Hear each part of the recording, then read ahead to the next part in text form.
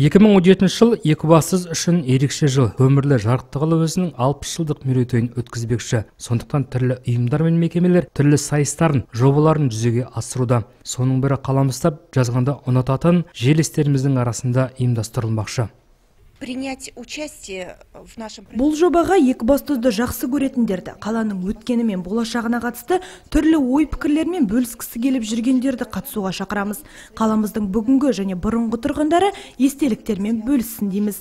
Қаламызға байланысты қызықты оқиғалармен қаламызда тұрған және тұратын ерекше адамдар туралы мәліметтермен бөліссін екібастұздықтарға ғана қатысты бір ерекшеліктер дәстүрлер бар шығар мүмкін. Оны білетіндерді де жобаға қатысуға шақырамыз. Сондықтан мақала жазуға ебі бар екібастұздықтарды осы сайысқа қатысуға шақырамыз. Жіберілген мақалалардың жақсы дегендері жергілікті голос екібастұз газетінде жарияланбақшы. Сонымен қатар екібастұз қаласының алпыс жылдық мерейтойы қарсаңында менің қаламым атты фестиваль болмақшы. Соған жаңағы мақала авторлары қатыстырылуы тиіс. Мақаламен бірге фотосуреттер де қабылданады дейді ұйымдастырушылар. Және оған кез келген тұлға қатыса алады. Жобаға қатысымдушылардың мақалалары орталық кітапханада және голос екібастұз газетінің редакциясында жүргізіледі және солардан толық ақпаратты да алуға болады.